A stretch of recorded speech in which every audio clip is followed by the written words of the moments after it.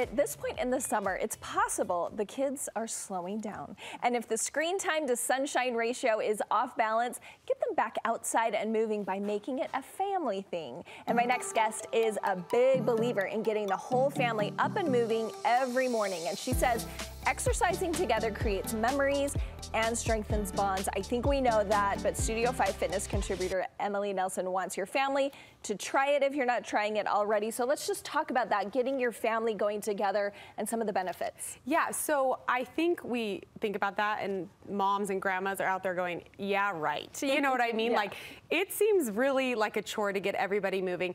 I wish I have confession time and I'm start sometimes I do confessions here.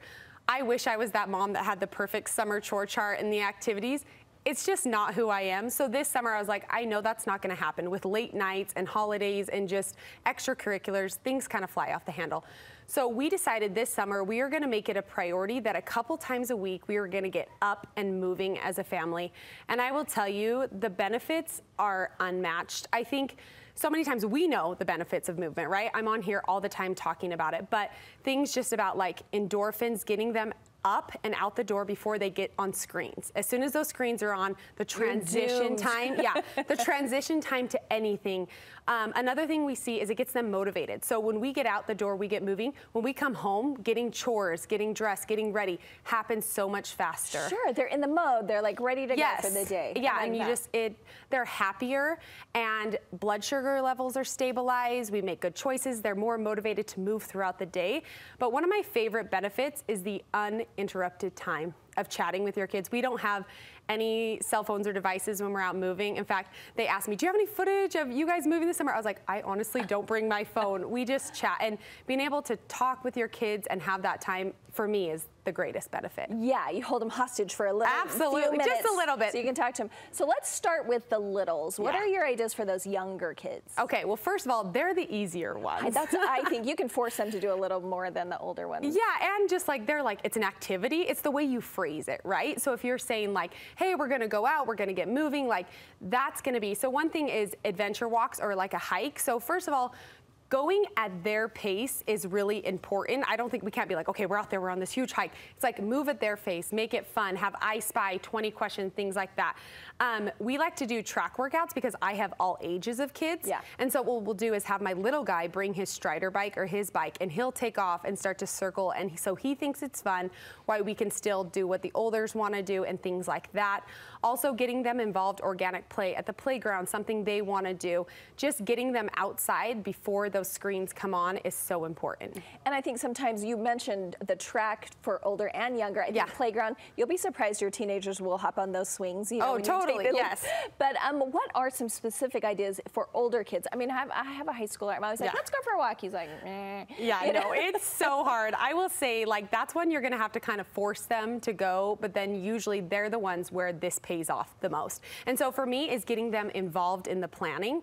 So we have, like, you can create a bucket list. Like, what are some activities you want to do this summer? And have them help create it. Have them research hikes in the area of something. What we like to do when we go to the track with my older daughter, because she does want to get in better shape. She does want to, like, start getting there, but she doesn't want to go and run. So we'll be like, instead of being like, okay, we're going to run a mile around the track, we'll say, we're going to jog the straight, we're going to walk the around. And we kind of make it like a timed workout, stuff like that. We also let them choose older kids, what are they into right now? Do they want to play tennis or pickleball? That's a big one at our house. Are they into soccer? It doesn't have to be such a structured workout. Let them choose the activity of something they're into, and that makes it more motivating. And they know, okay, on Thursday, we're going to play tennis, and then they get excited about it. And that is your next tip that Yeah. you sometimes you'll just let each kid choose an activity and then do you kind of rotate where you're like today is Bobby's turn. Yes, yeah. So that's what we've been doing is we have like three times a week, just with their extracurricular schedule. We have about three days a week, and we let them choose. Like one day is going to be a more like structured like track workout.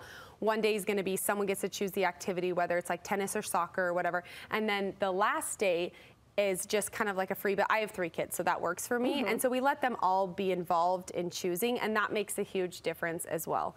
And that, and then also just organic play. I think we overlook just getting kids outside, if they're going swimming, if you're going swimming that day and you know that's going to be their activity, that's great. I don't think we have to overthink it too much. It's just about having activities of movement so that they can feel those benefits of getting their heart racing, endorphins pumping, and all of that stuff is What so other important. type of orga organic play? Would that be like playing a softball game, playing Yes. kickball, something like Yeah. that? Just a just even activity. like passing the soccer ball back and forth. Like I don't think we'd be like, okay, we need to run sprints on the thing. Just like, okay, we want to get better at dribbling the ball. Like that's organic play, right? Like I think of anything that you just kids would naturally go out and do, going down the slides, or even if you have like a lot of people, little for littles, they have those bounce houses. You Yeah. know, like if you can bounce house it.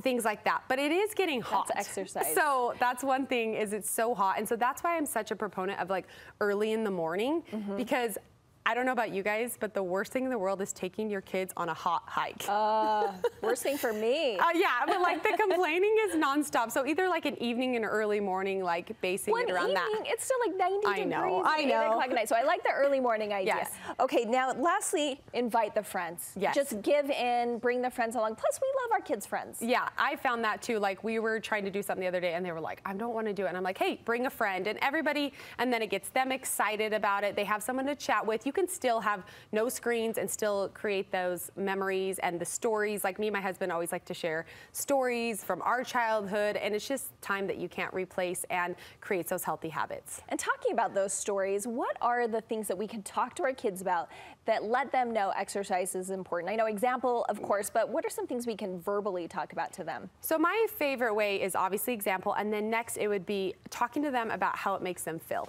So like after we've done like a track workout or something, I'd be like, you know, you didn't really want to get out of bed, but how do you feel? You know, I'll be like, do you feel better? And they're usually like, yeah, I feel so much more awake, and just kind of getting them to cue into their own body is so important because that's where the habits are going to be formed.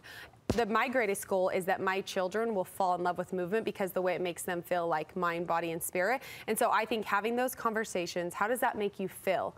And they'll start to recognize and then they'll start to crave that sort of movement. And also having honest conversations about there are so many days I don't want to move my body. Like that is normal, but don't you see how once we start moving, you really did feel better and they'll be like, yeah. Yeah, I like that. Letting them mm-hmm. be honest. Be honest as a be parent. honest Okay. about it because there's times where we're like, I want to sleep that extra hour or whatever, but it really does feel so good. Thank you so much, Emily. Thank You've given us some great ideas for the summer as we're wrapping up, sadly, but here we Oh. go.